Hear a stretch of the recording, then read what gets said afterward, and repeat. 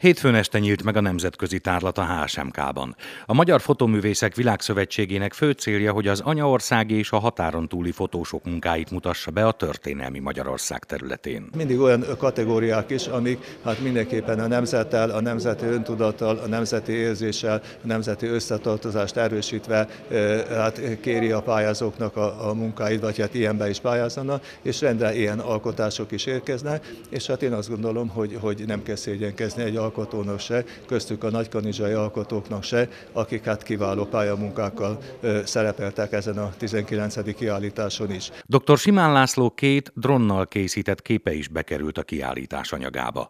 A Kanizsa Fotoklub tagja természet és általános kategóriában nyert okleveles minősítést. Azori szigetek legnagyobbik tagja Sao Miguel.